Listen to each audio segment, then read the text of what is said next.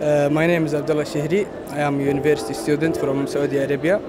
Our invention is about uh, an emergency door inside the elevator. Uh, the design, we remove one of the corners of elevator and uh, put uh, the emergency door, like you see here. If anyone stuck inside the elevator, my friend Abdullah will When anybody is stuck in the elevator by any reason, uh, power outage or uh, fire, uh, or any reason, it doesn't need any. He doesn't need any help uh, from outside. He help himself by he open the emergency door. Uh, it's open when the elevator stop working.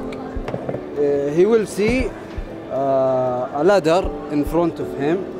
He climb uh, a ladder up, and there is a handle in the shaft of elevator, which helps to open the door of emergency floor.